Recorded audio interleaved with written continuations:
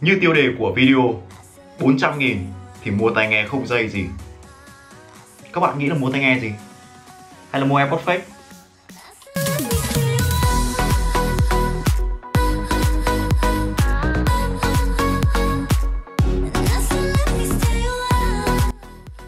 Ok, hôm nay chúng ta sẽ bỏ qua cái tai nghe AirPods fake của mình đi bởi vì là mình còn có rất nhiều câu chuyện muốn chia sẻ về nó chắc là mình sẽ làm một vlog chứ không phải là một clip review và nhân vật chính của chúng ta ngày hôm nay chính là chiếc tai nghe với mức giá 400 nghìn mà mình nhắc tới.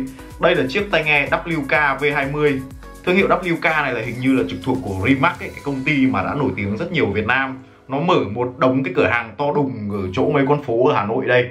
Và thực ra là cái món đồ tai nghe duy nhất mình dùng của Rimac là một con tai nghe có dây mà người yêu cũ mình tặng mình khoảng tầm hơn 2 năm trước. Việc đầu tiên chúng ta sẽ đến với cái thiết kế của hộp sạc bên ngoài. Nó có một cái thiết kế khá là nhỏ gọn, nói chung là cầm trong tay rất là gọn. Đây là một cái thiết kế nó rất là phổ biến ở những cái mẫu tai nghe giá rẻ. Làm một cái cục hình thuôn thuôn như này. Và khi mở nắp ra. Ô, đây. Khi mình mở nắp ra thì các bạn có thể thấy hai cái tai nghe nằm ở bên trong này. Và nó còn nháy đèn xanh đỏ liên tục. Và cái cảm giác của cái bận lề này thì nó hơi bị lỏng lẻo một chút. Đấy. Nó sẽ bị hơi bị lỏng lẻo. Khi mà mình lắc như thế này Thì nó sẽ bị kiểu nó sẽ tự gập vào ấy. Kiểu lắc rất là nhẹ thôi nó cũng gập vào nhưng mà khi mình tháo ra khi mình dốc ngược tai nghe ấy, thì nó lại hoàn toàn là không bị rơi ra. Nó bám khá là chắc chắn. Nói chung là cái nam châm trong này nó làm khá là ngon. Nó không kiểu nó lỏng lẻo như một số con tai nghe khác. Thậm chí một số mẫu tai nghe đắt tiền chúng ta dốc ngược cái này ra thì khi lắc thì cái phần housing hai cái tai nghe của chúng ta ở trong này nó cũng rất là lỏng lẻo và nó có khả năng là bị rơi ra. Điểm mình yêu thích ở chiếc WK V20 này là khi đeo vào tai thì nó vô cùng nhỏ gọn các bạn có thể thấy là cái phần housing của nó nó làm khá giống như là con QCI T1 mà hồi trước mình đã từng review rồi. Chỉ khác là nó có cái đèn led nháy xanh đỏ liên tục này thôi. Đây là mình sau khi đã đeo cái tai nghe ờ, WKV20 này vào. Và nó cũng khá là nhỏ gọn. Nó phần cái tai nghe nó úp sát vào tai và không có phần thừa bên dưới. Điều này thì mình hài lòng hơn so với việc sử dụng những cái mẫu tai nghe mà có phần thừa bên dưới như kiểu AirPods. Tuy nhiên thì cái thiết kế của AirPods thì nó mang cái tính gọi là nhìn nó sang chảnh hơn nên là mình mới mua đồ fake mình dùng thôi. Còn nếu để trải nghiệm một thiết bị có chất âm tốt trong tầm giá dưới 500 nghìn thì mình vẫn khuyên các bạn là nên cân nhắc cái mẫu tai nghe WK V20 này. Nó có điểm mạnh là khả năng cách âm khá tốt khả, khả năng cách âm của con WK V20 rất là tốt khi mà mình đeo vào và làm vlog kiểu quay vlog ngồi nói chuyện như này thì những tạp âm ở bên ngoài hoàn toàn không lọt được vào tai mình thực chất là bởi vì bây giờ mình quay là phòng mình khá yên tĩnh, nhưng khi đi ngoài đường mà mình đi bộ ấy, thì mình đeo tai nghe như thế này, thì nó có thể giảm thiểu cho mình âm thanh rất là nhiều. Tất nhiên là mình không khuyến cáo các bạn nếu mà hỏi mình cái việc mà đeo cái tai nghe này để đi xe máy, thì đấy là vi phạm luật giao thông, nên là mình cũng không có cái trải nghiệm mà đeo tai nghe đi xe máy xem nó cách âm có tốt không.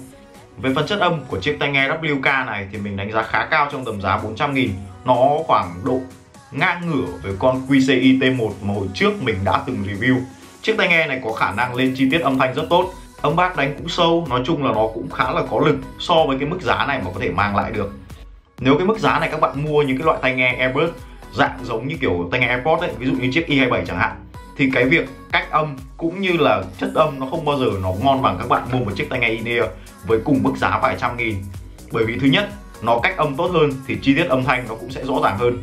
Cái việc mà cái phần ống dẫn âm thanh từ driver nó chọc thẳng vào tai này chúng ta, khiến cho âm thanh nó sẽ đi thẳng vào tai và nó sẽ truyền đến tai một cách chính xác hơn Tuy nhiên thì cái việc mà đeo một chiếc tai nghe mà in ear quá lâu ấy, thì như mọi chiếc in ear khác mình đều thấy là đeo tầm khoảng 30 phút là mình bắt đầu cảm thấy nó bí và nó khó chịu rồi. Tất nhiên để đổi lại chất âm thì việc mà lựa chọn một chiếc tai nghe in ear thì đây là cái điều mà rất khó để tránh khỏi. Và sau khi mình trải nghiệm nghe một số bài hát kiểu nhạc rock của Linkin Park thì mình cảm thấy là chiếc tai nghe này âm thanh nó kiểu nó hơi bị bí một chút, nó nghe nó hơi tù ấy. Và những cái khúc mà âm jazz kiểu cái tần số âm thanh nó quá cao thì cái con tai nghe này nó không thể hiện được tốt.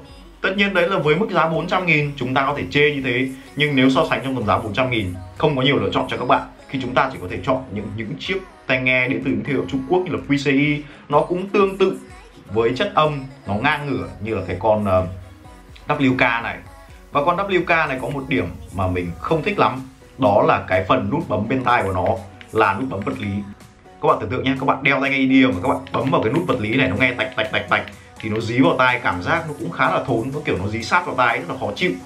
Và một điểm đáng khen nữa là cái con tai nghe này có khả năng đàm thoại khá tốt. Khi mình sử dụng nó và ngồi trong nhà, gọi điện, nói chuyện qua tai nghe bluetooth thì rất là ok. Còn mà nếu mà sử dụng tai nghe mà kiểu true wireless như thế này mà ra đường để mà nói chuyện điện thoại thì mình cũng không không cảm thấy nó khả quan lắm, bởi vì cái khả năng lọc tạp âm của nó rất là kém. Với con tai nghe 400 nghìn thì cái việc mic để làm thoại nó chỉ là ở mức để cho có thôi, chúng ta không thể nào mà đòi hỏi được nó có cái khả năng mà nghe thật là rõ, nói ở bên kia là nghe là như đài phát thanh. Không bao giờ mà chúng ta có được những cái điều đấy cả. Và sau khoảng một tuần sử dụng chiếc tai nghe này, thì điều quan trọng nhất mà mình muốn nói cuối cùng đó chính là thời lượng pin. Với cái đốc sạc mà 500 mAh này thì chúng ta có thể sạc cho cả hai tai khoảng độ 5 lần và hai tai này chúng ta có thể hoạt động nghe ok trong vòng khoảng 4 tiếng. Có nghĩa là chúng ta làm một phép toán đơn giản 4 x 5 thì bằng 20 là chiếc tai nghe này chúng ta có thể sử dụng được 20 tiếng. Đó là tính cả cái đốc sạc nhé còn nghe mỗi tai nghe chúng ta tầm khoảng 4 tiếng là căng thôi. Thì đây là một cái sản phẩm khá là hay ho, phục vụ cho cái nhu cầu nghe nhạc của mình mà mình muốn chia sẻ với các bạn. Và phần quan trọng nhất của video đó chính là phần quảng cáo. Chiếc tai nghe này đã được Ecomobi bán với mức giá là 400 nghìn. Nếu các bạn muốn mua cái tai nghe này thì hãy ấn vào cái đường link phía bên dưới mình đã để. Nó sẽ dẫn đến cái fanpage của mình. Và các bạn đặt mua online trên đấy, Tất nhiên là không phải là mình bán nhé Mình bảo rồi không phải mình bán, mà là mình mượn sản phẩm. Sau đó là mình sẽ gắn link để bán cho người ta. Và tất nhiên, người ta bán càng được nhiều hàng thì mình càng có nhiều hoa hồng. Nên nếu các bạn yêu quý và ủng hộ mình, có thể mua chiếc tai nghe này ngay đường link phía bên dưới và những clip lần sau mình sẽ chia sẻ cho các bạn một số sản phẩm tai nghe True Wireless hay ho hơn. Hiện tại mình có rất nhiều tai nghe True Wireless Và mình có thể làm một cái clip gọi là khoe của ở clip sau. Còn bây giờ xin chào các bạn và hẹn gặp lại ở những video review sản phẩm lần sau. Mình biết là cái góc quay kiểu nó sát mặt thế này nó hơi tù, nên là mình cũng cố gắng quay góc cạnh nhiều hơn rồi.